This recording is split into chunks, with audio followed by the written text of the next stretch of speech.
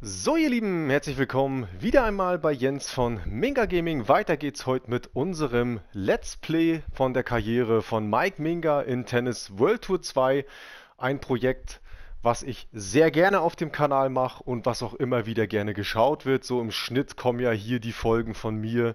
Nagelt mich nicht drauf fest, so alle drei bis sechs Tage, also von einer pro Woche könnt ihr eigentlich im Schnitt mindestens ausgehen. So, ihr seht es, Wimbledon ist am Start. Ich darf daran teilnehmen, das werde ich natürlich machen.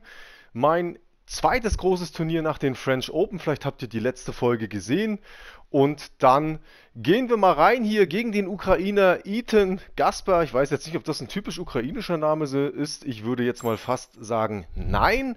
Ich habe ja meine ersten Erfahrungen jetzt schon mit 5-Sterne-Turnieren gemacht. Müsst ihr einfach mal die letzten ein, zwei Folgen reinschauen. Aber im Endeffekt, um besser zu werden, für mich eigentlich genau die richtige Übung und das möchte ich jetzt auch annehmen. Hab zwischen French Open, also dem letzten Video, und jetzt Wimbledon, mein erstes großes Turnier. Ach, wo, sind eure, wo, wo ist denn eure Ausrüstung? Was ist denn das?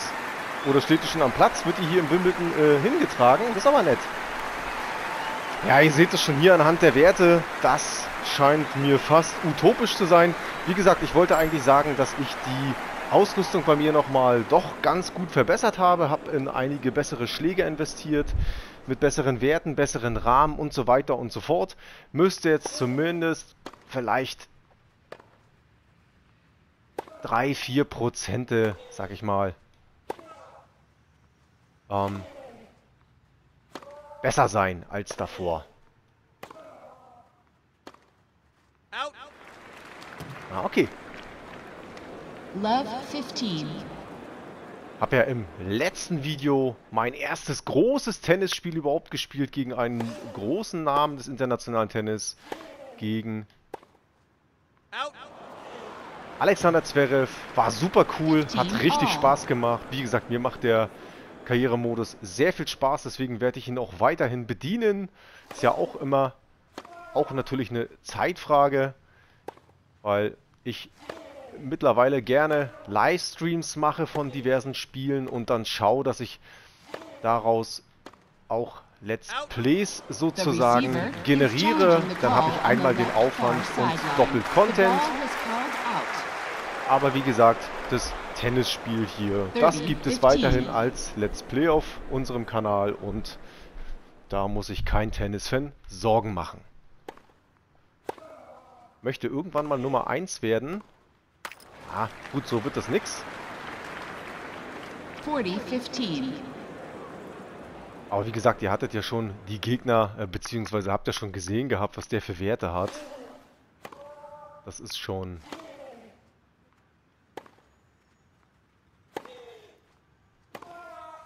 Ah, schade. Der Slice war eigentlich ein guter, eine gute Idee, muss ich sagen.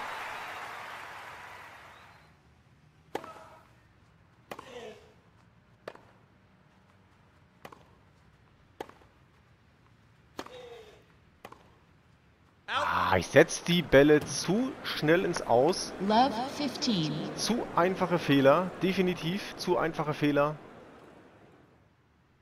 Und das kann mich natürlich dann auch relativ schnell so ein Match kosten. Aber wie gesagt, das ist jetzt für mich, glaube ich, erst einmal unter Erfahrung sammeln abzubuchen.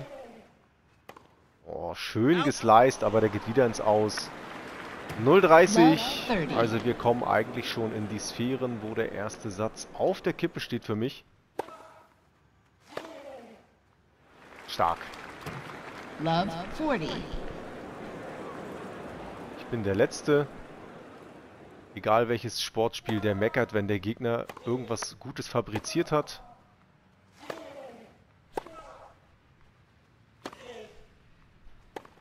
Ja, der war schön. Komme ich nicht dran. Aber da wollte ich eigentlich auch hinten rechts den Ball platzieren und das ist mir nicht gelungen, wie ihr jetzt vielleicht gesehen habt. Und insofern natürlich jetzt der drohende Aufschlagverlust, beziehungsweise der Aufschlagverlust. Oh, meine meine Ausdauer. Aber ich glaube, das hängt auch mit meiner Müdigkeit zusammen. Ich habe das Turnier vor dem Turnier eine Müdigkeit von 15% gehabt. Das ist schon gefährlich, auch im Hinblick auf eine möglichen Verletzung. Also nach Wimbledon, egal wie weit ich komme, werde ich erstmal eine Ruhepause einlegen. Das weiß ich jetzt schon, egal wie attraktiv das nächste Turnier sein mag. Und das macht auf jeden Fall Spaß. Oh, der war schön platziert. Komme ich nicht ran. Da komme ich nicht ran. 15 love. Natürlich bin ich an der Stelle hier schon ein bisschen enttäuscht.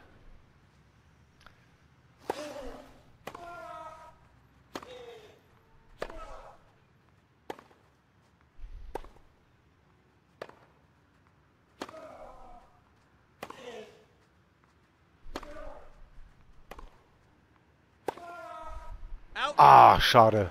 War eigentlich die richtige 30 Idee, den da raus zu slicen. War schon gut.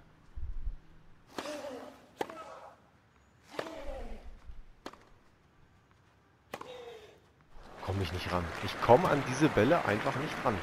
40 love.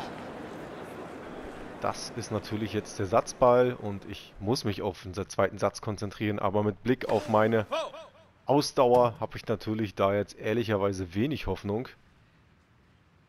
Denn mit Standtennis den Gegner zu besiegen und nicht so viel zu sprinten und so zu den Bällen, das wird als Taktik nicht funktionieren und da komme ich nicht ran. Und folgerichtig, das war hier mit dem ersten Satz und natürlich dem klaren Satzgewinn.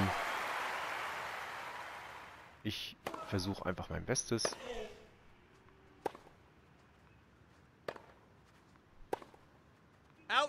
Ja, mir fehlt die Präzision. Ich 15. glaube schon, dass das daran liegt, dass auch, dass ich auch eine relativ hohe Ermüdung jetzt schon habe. Hätte mich vielleicht gegen Wimbledon entscheiden sollen, aber ich wollte einfach diese Erfahrung Love machen mit dem 30. Turnier. Ihr seht's. Selbst hier gelingt mir nicht der Schlag ins rechte Eck. Und da komme ich nicht dran. Ich wiederhole mich, das weiß 40. ich. Aber muss man einfach so nehmen, wie es jetzt ist. Hilft ja alles nichts.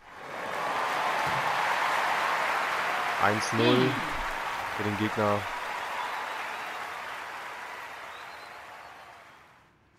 Schade.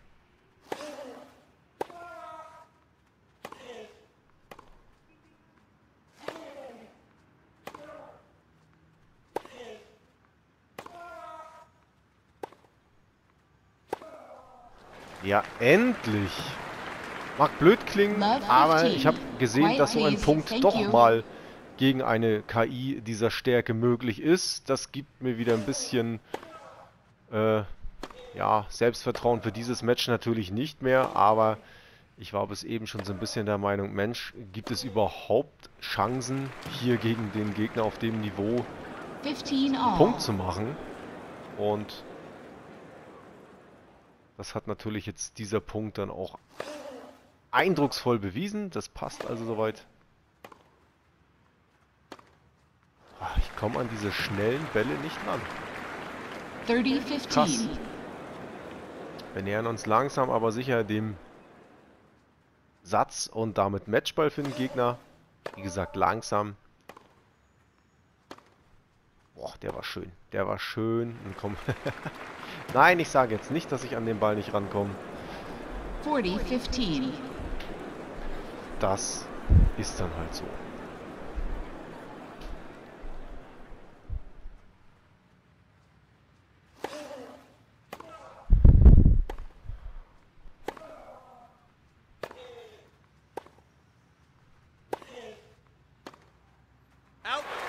The receiver Den is Ball challenging the will ich call dann on the jetzt left doch mal far sideline. The ball has called out. Game.